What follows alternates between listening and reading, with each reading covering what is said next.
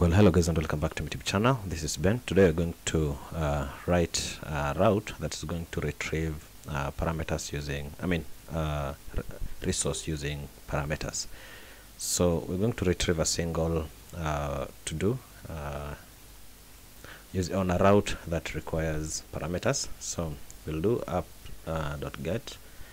he will just pass our to do and then the ID of the to do item that we need then the normal stuff request and response here then we're going to have um, our id which is going to be inside our request params.id and then that will retrieve the id um, here we're going to have our http which is our axios instance. Then we'll put uh, a get request to um, I'll retrieve the post. So I'll do that just to post uh, then we concatenate with id and then the normal stuff happens here. The data that we get back which is what we're going to send back to our request uh, or our response here. And then uh, this is just the first method. We'll also do another method uh, now using um, what the documentation has uh, recommended.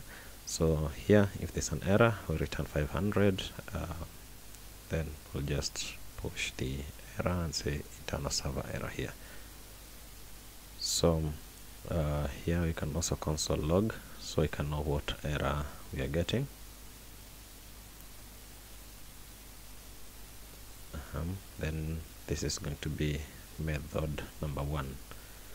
So if we now test this post route so I'll go to the posts then just say id1 send it unfortunately it's supposed to be get yeah. So we get our response for post id 1 so let us try method number 2 we'll just copy paste what we have and change just a few things here. And then instead of concatenating it like that we can have our params here.